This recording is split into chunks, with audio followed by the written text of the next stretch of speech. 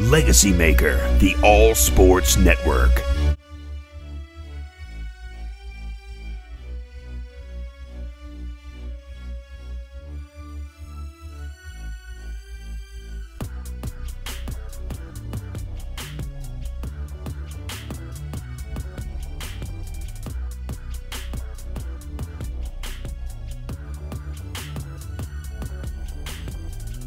Well, I mean, well, first, I mean, it's a, it's a blessing to be here. Um, you know, and I, th- I, thank God and the Redskins for this opportunity.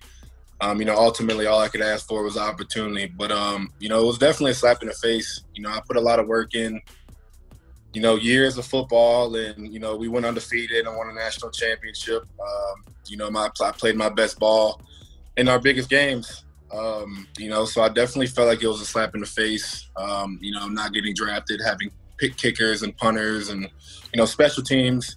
Just special teams guys get picked over me. It definitely, I definitely felt some type of way over it. But um, you know, but it's no, it's no difference. You know, I've always had to prove myself my whole life. You know, having the last name that I've had, I've always had to prove everybody wrong, um, or just prove myself right my whole life, and this is no difference.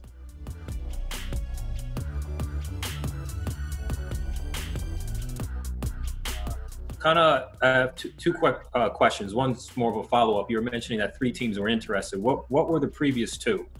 Were the other two? Cincinnati and New England. I haven't had conversations with anybody on the team. Actually, um, I got a, you know, I had I have some former teammates that I used to play with. I think three or four that's on this team that I've been able to contact and just, um, you know, stayed in contact with um, you know, I reached out to Dwayne Haskins. You know, just wanted to introduce myself and just say, hey.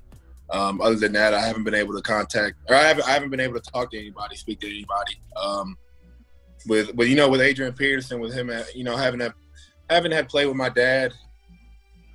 I mean, I'm, I'm not going to go up and I'm not going to go up and introduce myself to him. That's just not what, what type of guy I am. Um, you know, I'm, I'm.